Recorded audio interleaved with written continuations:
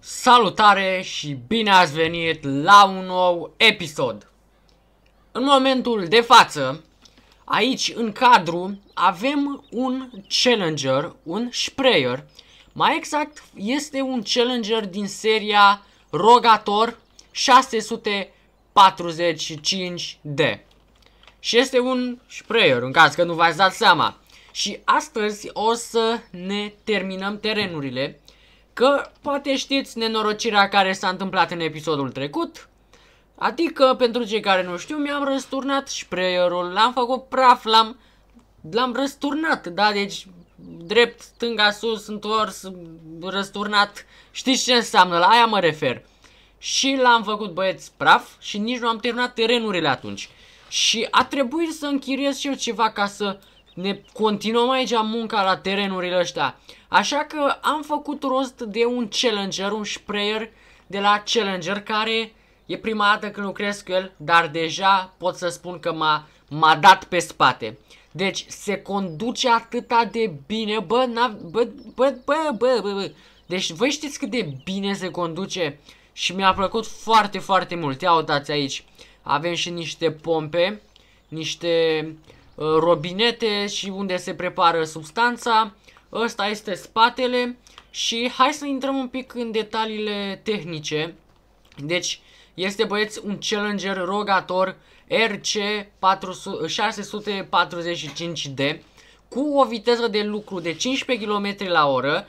Îți faci treaba cu el. Are o lățime de 36 de metri și o capacitate de 5000 de litri, deci de 5 tone. Și hai să cam începem la treabă, să nu mai pierdem timpul. Ia uitați, acolo monitor de la Challenger, 5000 de litri, deci e interesant că ecranul ăla îți arată, bineînțeles, că are 5000 de litri.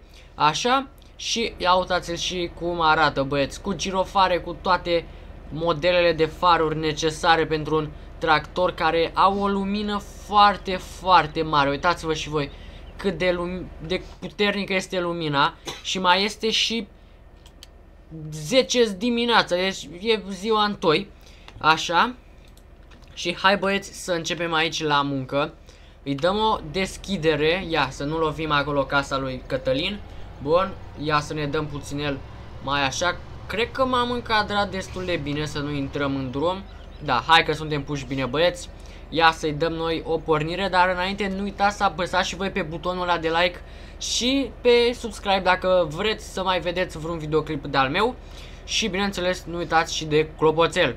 Bun, hai să începem aici. Să-i dăm o deschidere, ia uitați cu ce, cu ce viteză se deschid brațele. Ia uitați, câta este de mare băieți. Bun, gata, hai că nu, nu ieșim în drum, foarte bine. Acum putem noi să facem reglajele necesare, ia uitați. Un fel de a se de a se regla foarte nou. Deci, bă, da, să nu ieșim într-un, am ieșit un pic, hai că remediez eu. Bun, deci hai să-i reglăm noi și lățimea la roți, să nu ne răsturnăm. Așa și, uite, îl las cam așa. Cam asta este lățimea, băieți. Bun, hai să ne dăm noi în spate și să începem aici la muncă, băieți. Să nu ieșim în drum, uite așa. Bun, și nici să nu călcăm recolta chiar foarte multă. Bun, hai că oricum nu trebuie chiar din capăt de aici. Bun, deci avem toate reglajele făcute.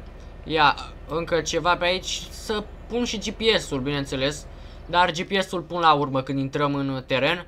Bun, ia să-i dăm băieți colea o pornire. Ia uitați, am pornit. Acolo ecranul care ne arată, ne, ne monitorizează uh, asta, cantitatea pe care o folosim uh, din secundă în secundă, ia uitați cum scade acolo numărul. Bun, și hai să nu scadem noi chiar, să nu lăsăm să curgă chiar atât de mult și să pornim băieți aici la treabă, ia uitați. Bun, ia să nu ieșim noi în drum și nici să nu dăm în pământ. Bun, ia să mai ridicăm noi puțin el. Uite atâta. Așa, ia să ne întoarcem, care are un sistem din ăsta de întoarcere care întorci pur și simplu în loc. Am mai condus, eu am mai condus și preiere doar că ăsta este unul mai, mai diferit să-i spun așa. Deci are niște caracteristici din ăștia pe care nu le-am mai întâlnit și la alte sprayere. Și stați un pic că văd că sunt mai mult intrat la vecinul prin recoltă față de uh, recolta mea aici. Bun, deci în 3 ture băieți cu 36 de metri lățime, în 3 ture facem, facem tot terenul, ce să mai. Așa, ia stați puținel băieți, totodată să îmi setez și eu aici lățimea. Bun, GPS-ul, uh, foarte bine, 36, bun băieți, gata. Acum mergem și pe GPS, ia dacă îi mai dăm și niște girofare perfect, ia uitați-l cât este de mare. Și băieți, cândva o să ne o să trebuiască să ne cumpărăm și noi unul. Și totodată o să căutăm ca să găsim aici un model potrivit. O, oh, ia uite și tu, n-am fost atent la drum și am ieșit în în drum aici. Ce să mai... N-am fost atent. Bun, hai să dăm puțin el în spate. Bun, și o să o luăm noi pe unde să o iau. Uite că am luat-o cam aiurea, am început aiurea. Bun, așa, hai să continuăm. Îi dăm cu la o pornire. Și uite că ne punem noi în partea asta aici. Hai să-l încercuim. Hai să-l încercuim, băieți, dacă tot am început. Bun, să nu ieșim în drum. Hai că suntem la fix. Suntem la fix, băieți, acolo la drum. Ia uitați, la fix, bun. Foarte bine. Hai să ne întoarcem aici. Bun. Stați puțin așa. Ia uitați că ajungem aici la urme. După ne instalăm iar pe rută. Și băieți, continuăm, mamă, stai un pic să mai ridic, să nu, să nu dăm acolo pe jos cu brațele, că după cum că nu e al meu, după cum că nu e al meu, zic totuși să nu-l să nu-l stricăm. Bun, foarte bine băieți, hai să întoarcem aici mai brusc, dar se pare că n-am întors chiar atât de brusc cum am vrut. Dar lăsați că nu e o problemă. Mamă, și uite, deci gata, ăștia sunt 3 ture și am terminat terenul cum ar veni. Bă, Băi, aveți 36 de metri, e, e prea mult să spun așa la terenul ăsta. Și uitați și voi, a, nici 3 ture nu am făcut și terenul este terminat.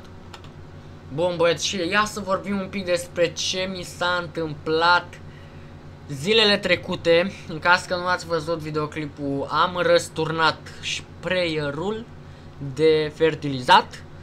Bă, și sincer l-am făcut praf rău de tot. Nu știu, nu cred, vă spun de acum, nu cred că o să mai mă apuc să-l mai repar. Deci o să încerc să ajung astăzi pe videoclipul ăsta până în fermă să vă faceți o părere. Adică oricum l-am dezmembrat acum, este dezmembrat și să vedeți și voi cum, i-am, cum, cum arată. I-am dat băieți brațele jos, brațele laterale, Roțile le-am dat și pe ăla jos, dar le-am montat înapoi până la urmă. Le-am montat înapoi că n-au n-au nicio daună. Deci este, a fost un pic, nu știu cum, rezervorul a fost un pic spart, așa la rezervor. Dar în rest, ă, ăștia, brațele au fost făcute praf. La praf de unde se face praful, deci în așa fel, bă, n-am idee, deci credeți-mă că nu am idee cum am putut să îl stric în în halul ăsta, în, în felul ăsta. Bun, ia să vedem noi dacă nimerim aici urmele. Bun, foarte bine. Uite, ne pune și noi așa pe urme. Bun. Și acum, băieți, după statisticile mele, o să trebuiască să ieșim noi, uitați aici. Bun, gata, ia, suntem puși bine, mă întreb. Bă, la fix, ia vezi și tu că la fix ne-am pus aici. Bă, ce să vezi, ia uite. Gata, și uitați, băieți, că am terminat, uite, o să merg așa Uh, am terminat aici terenul foarte bine. Hai să plecăm. Gata, hai acasă de aceea. Hai acasă de aceea.